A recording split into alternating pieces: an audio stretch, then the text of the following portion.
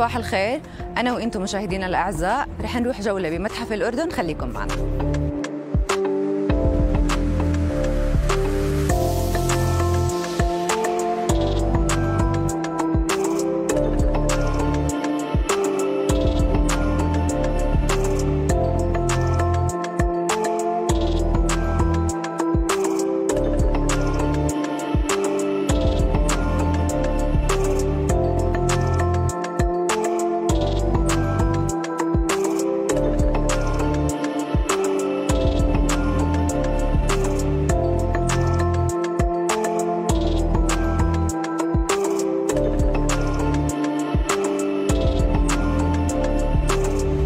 من خلال جولتنا في متحف الأردن رح نرحب أنا وياكم مشاهدينا الأعزاء بمدير عام متحف الأردن المهندس إيهاب عمري. صباح الخير. صباح النور. وأنا بدوري بدوري برحب فيكم جميعا في متحفكم متحف الأردن.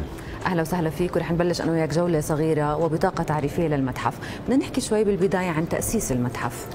تأسيس المتحف حقيقة هي كانت حلم قديم بدأ في الستينات. وحمل هذا الحلم وهذه الرسالة سمو الأمير الحسن بن طلال. نعم. وتم عقد العديد من المؤتمرات والعديد من الدراسات والعديد من التحركات في هذا المجال إلى أن صدرت الإرادة الملكية السامية بتأسيس متحف الأردن. وبصدور هذه الإرادة تم بدء البناء وتم إنجازه بالعام 2010 2010 وتم وضع نظام خاص لإدارة هذا المرفق الهام. يتكون من مجلس أمناء برئاسة جلاله الملكه رانيا العبد الله نعم. وتنوب عنها بشؤون المتحف بشكل عام سمو الأميرة سمية بنت الحسن. نعم. ومجموعة من الذوات بتخصصات مختلفة لدعم إدارة المتحف في تحديد التوجهات الاستراتيجية لهذا المتحف المهم في الأردن وهو متحف الأردن الوطني طبعا. صحيح. طيب هو متى أصلا تم الافتتاح بعد التأسيس وبعد الشغل عليه؟ تم الافتتاح في بداية العام 2013 2013 وكان ما يسمى بنسميه إحنا ال soft opening على أساس إنه كانت بداية افتتاح تجريبي حتى نشوف كيف تفاعل الزوار.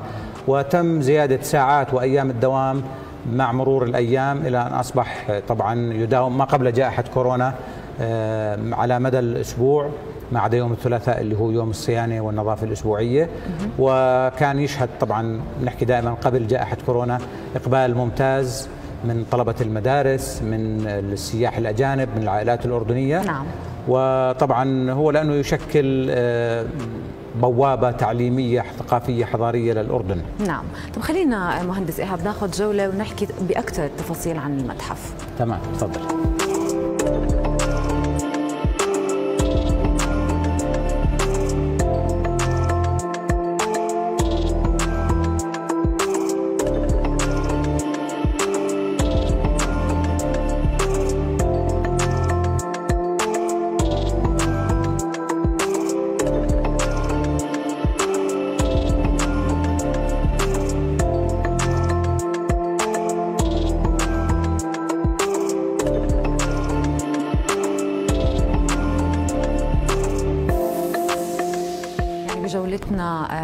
مهندس إيهاب بنحب كمان نعرف وناخذ فكرة عن موضوع مقتنيات متحف الأردن احكي لنا شوية تفاصيل متحف الأردن يضم العديد من المقتنيات نعم.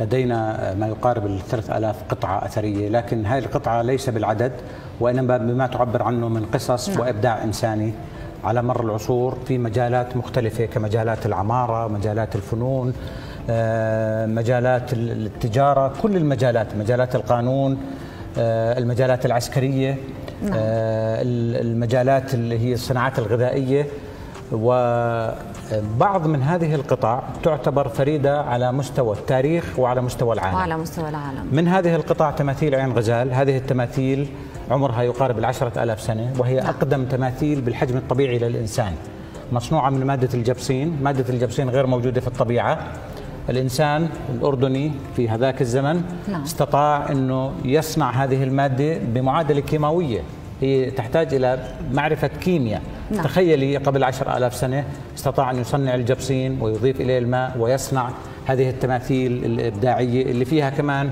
تعبير فني غير عن القيمة العلمية اللي بتخفيها من حيث تصنيع مادة الجرسين. موجودة فقط في متحف الأردن. هاي هي القطع هي عبارة عن أكثر من 30 تمثال. نعم. وجدت في منطقة عين غزال.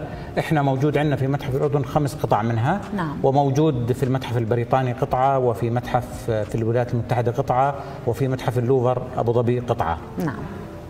خلينا نكمل الجولة وناخذ فكرة أكثر كمان عن تفاصيل المتحف.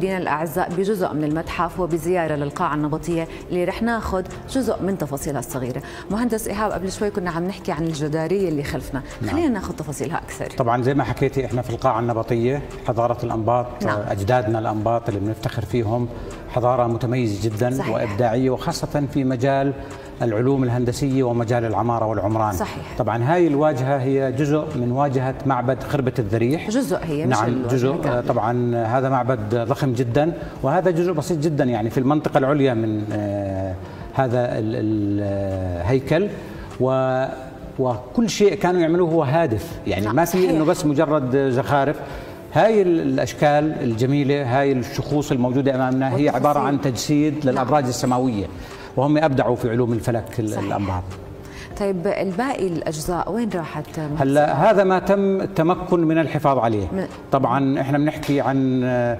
آه، سنوات طويلة جدا في غياب آه، القوانين وفي غياب الضبط والربط يعني بنحكي عن بجوز أكثر من 100 سنة لكن ما تم جمعه من إرث الأردن من قطع أثرية شيء الحقيقة يعني بيفتح متاحف كثيرة جدا مش بس. مفتح متحف الأردن وإحنا بنفتخر بهاي القطع وكمان في معلومة بحب أنوه لها إنه زمان كان قوانين الآثار القديمة تتيح موضوع قسمة القطع الأثرية ما بين البعثات الأجنبية المحلية نعم. والأجنبية فكانوا يأخذوا اللي بيكتشف قطع يأخذ جزء منها ويعرضها بالمتاحف اللي موجودة في أوروبا ومناطق أخرى من العالم واللي لا زال موجود كثير من القطع طبعا مكتوب عليها إنه هاي قطع من الأردن وتمثل الابداع الاردني يعني. هاي القطع يعني جانب أحد الجوانب الجيدة. طبعا إحنا نتمنى إنه هذه القطع كلها ترجع لكن أحد. الجوانب الجيدة إنه هي عبارة عن زي سفراء لنا في كل أنحاء في كل العالم. أنحاء العالم.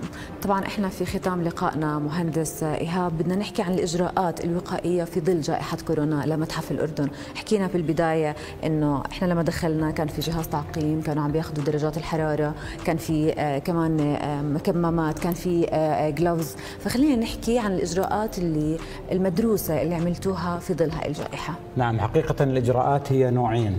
الإجراءات اللي أنت حكيتي عنها واللي كل الشعب الأردني صار يعرفها صحيح. مجهزة تماما عمليات التعقيم الكمامات القفازات. كل شيء اللوحات التوعوية ماذا تفعل وماذا لا تفعل صحيح. كيف طريقة الدخول قياس الحرارة كل شيء وهذا من جانب من جانب آخر آه، بالجانب الفني خليني أسميه هلا لا يخفى على أحد أنه آه، المتاحف حاليا ومنها متحف الأردن ما في زوار يعني. الزوار اللي هم من صحيح. السواح ضيوفنا الأجانب حتى طلبة المدارس اللي هم بشكل زخم كبير هذول الشريحتين هذول غير موجودين حاليا غير صحيح. متاحين حاليا ولذلك تم التفكير بعمل جولة افتراضية في المتحف آه، نزلناها على موقعنا وعلى كل صفحات التواصل الاجتماعي نعم. وهاي الجولة هي جولة تفصيلية تأخذ أي ضيف وأي شخص يرغب أن يدخل إلى متحف الأردن تدخله إلى داخل المتحف ويستطيع حتى أنه. يقرأ يعني ما هو مكتوب عن كل آه، آه، قطعة في المتحف. ممتاز. نشكر أكيد آه، تواجدك معنا واستقبالك لنا اليوم مهندس إيهاب. أول شيء العفو هذا واجبنا وهذا متحف الأردن. عندنا رسالة تحفيزية لكل شخص أردني من من الصغير إلى الكبير. الأردن هي بلد عاشت تحديات كثيرة على مر العصور صحيح. وحولت هذه التحديات إلى فرص والمتحف يقدم هذه الفكرة وبالتالي نحفز كل الشعب الأردني على الإبداع. إن شاء الله. طبعا نشكركم كمان مشاهدينا على حسن المتابعة. إن شاء الله يا رب يكون زيارتنا أعجبتكم من متحف الأردن. يعطيكم العافية.